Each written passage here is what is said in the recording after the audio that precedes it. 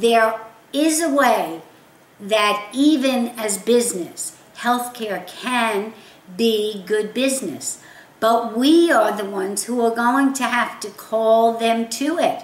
We are going to have to make them step up and be accountable. Where else, in, in what other business do you know where somebody who's working can't take enough time for lunch? There isn't enough staff to be able to watch the people who are in trouble. And in our case, if somebody's in trouble and if something happens, um, we're sacrificed because if the hospitals are sued, you know we're the ones who are going to be thrown under the bus.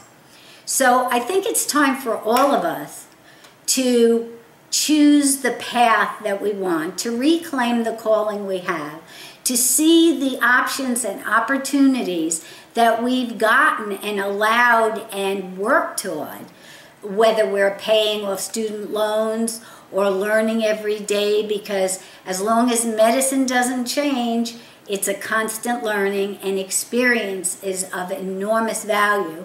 And nurses have a lot of experience. Don't let them minimize who we are.